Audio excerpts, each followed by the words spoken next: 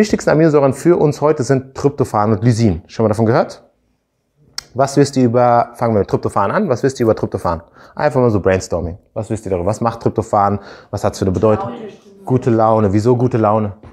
Serotonin wird gebildet. Und was wird aus Serotonin am Abend gebildet? Richtig. Deswegen ist Tryptophan gut für was? Schlaf. Ganz genau. Genau. Richtig. Wie viel Prozent der Deutschen haben Schlafstörungen? 90. Ein Drittel. Minimum. Also schwarze, äh, die, die Dunkelziffer ist höher.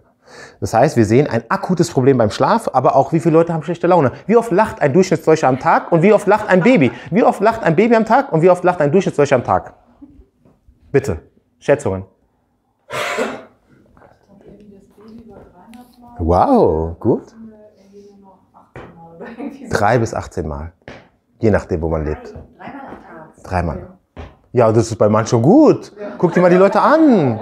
Ja, ja, ich habe, es gibt sehr viele verbitterte Leute und besonders aktuell, also ich bitte euch. Es ist eine sehr, sehr traurige Zeit für die meisten Menschen. Also ihr seht, es fehlt an Glückseligkeit.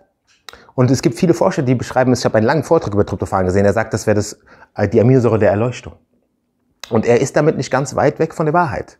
Weil wenn wir Glückseligkeit haben, eine heitere Gelassenheit, dann gehen wir alles mit Problemen um.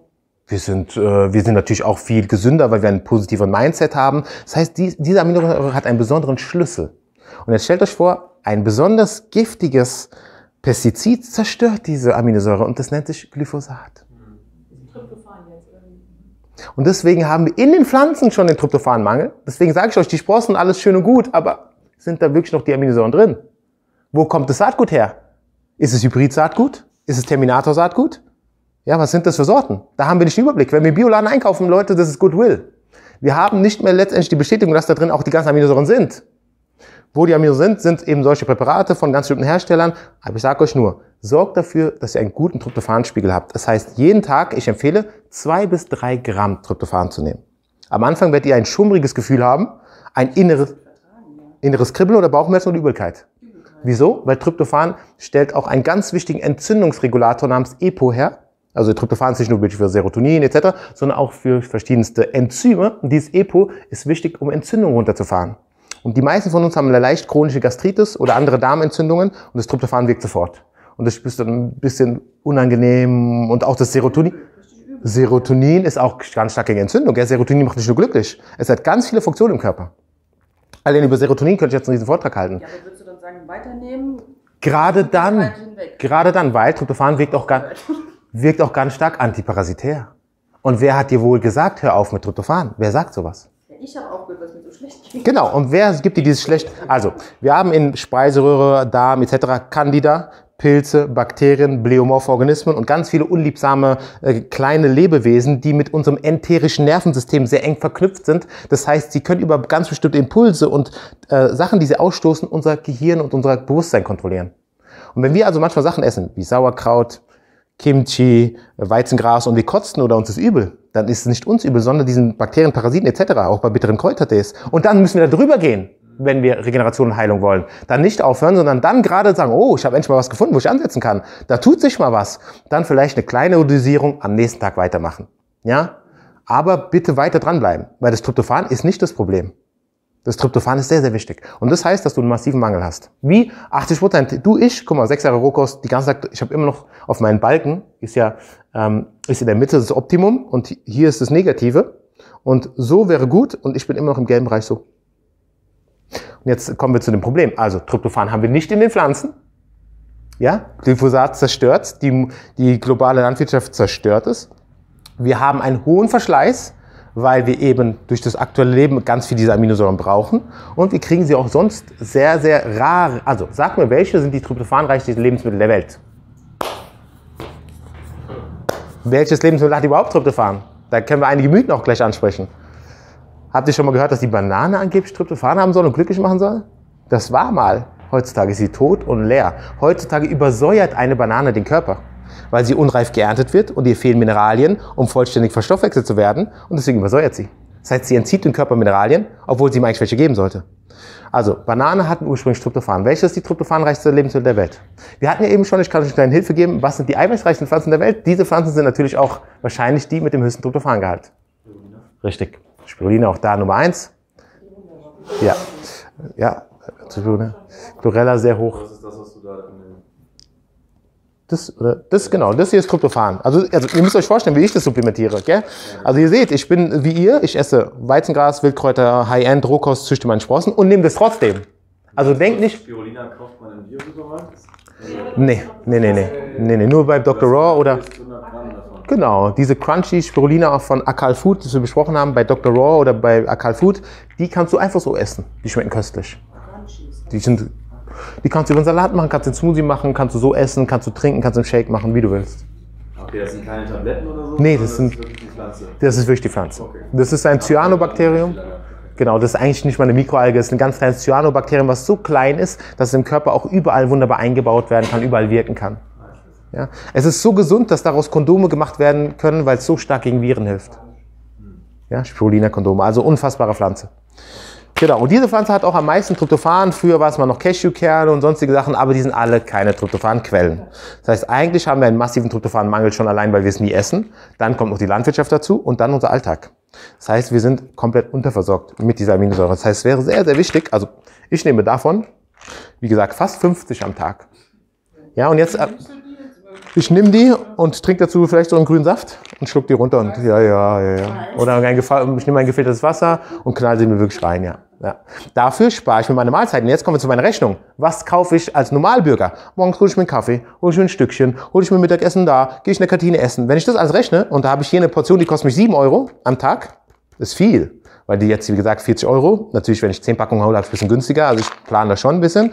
Aber dann komme ich vielleicht auf eine Packung, kostet mich ungefähr 25 Euro. Und die ist aber an drei Tagen leer. Hat keine Kalorien. Hat keine Kalorien und ich habe nur positive Effekte. Bei den anderen Sachen habt ihr immer noch Stuhlgang, Ausscheidung. Hier habt ihr alles wird verwendet für Neurotransmitter, Enzyme, Immunzellen etc. Das heißt, wenn ihr von, Immunsystem anfängt zu reden und ohne Tryptophan und Lysin äh, argumentiert, dann fehlt was. Wenn du zum Meckers gehst und so eine komische Tüte hast, dann sagst du. Eben. Und wenn man es mal rechnet und Ja, du, ich habe früher McDonald's und so war ich, war ich hoch, habe ich hoch frequentiert. Ja. ja. Kannst du auch mal sagen, warum Cashewkerne jetzt nicht mehr? Ich meine, wenn man jetzt in Rohkostqualität bekommt. Genau. Warst du schon von Einkeimen, Aktivieren und sowas gehört? Genau. Also die Cashewkerne haben ganz viele äh, Lektine, Oxalsäure, Inhibitoren und Antinährstoffe. Das heißt, wenn du die so isst und sie perfekt zu Microgens gemacht haben, sind sie hochgradig giftig. Sie lähmen dich giftig. Ja. Für uns nicht so, dass wir gleich sterben, aber sie lähmen den Organismus und bringen mehr schlecht als recht. Auch sie sind sehr gut, äh, sie sind sehr gut fermentiert und vorher eingeweicht und zwar am besten 24 bis 72 Stunden.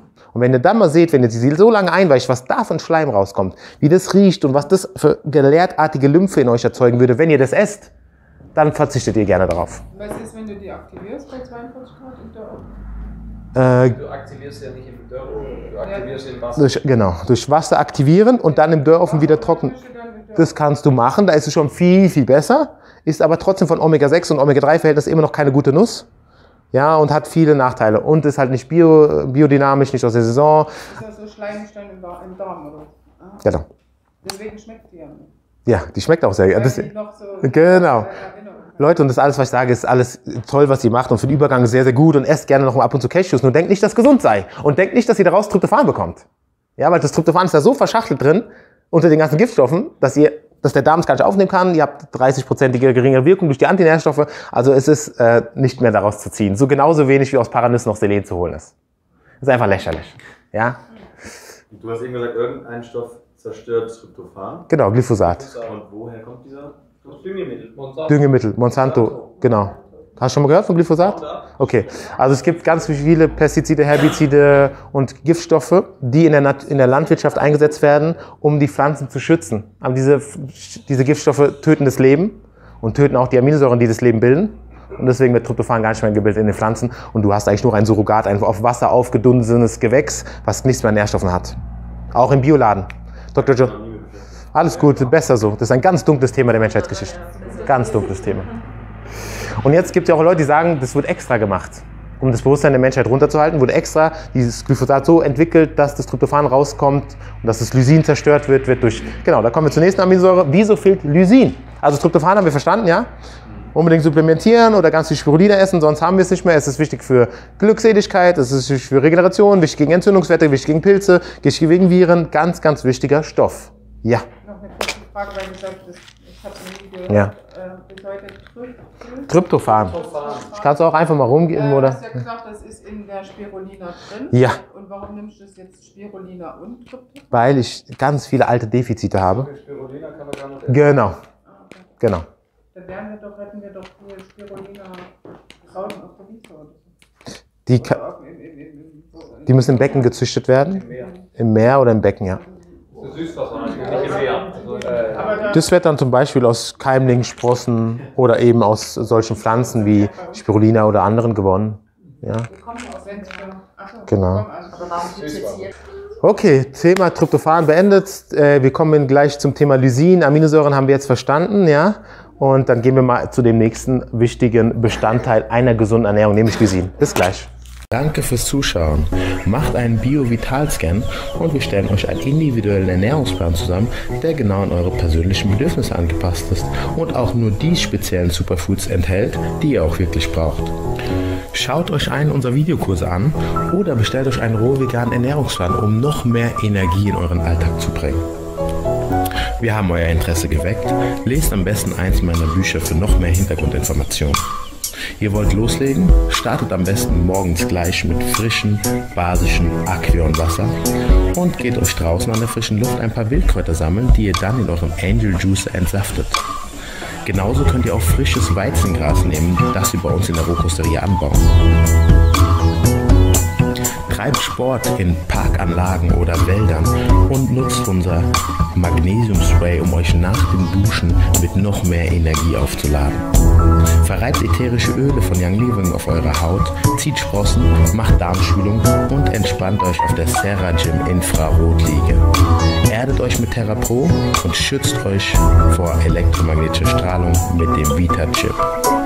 Fahrt zum Blue Room nach Weimar und macht Rohkosturlaube in den Tropen mit uns und unserer Crew.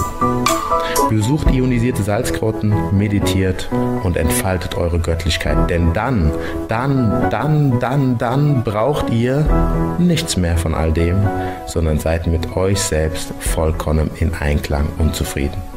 Auf dem Weg dahin möchte ich euch weiterhin unterstützen und deswegen würde ich mich sehr über ein Abonnement freuen und wenn ihr weiter dabei bleibt für das nächste Video. Vielen herzlichen Dank für die Aufmerksamkeit. Euer David. Alle Links für die Produkte und Anwendungen findet ihr unten in der Infobox.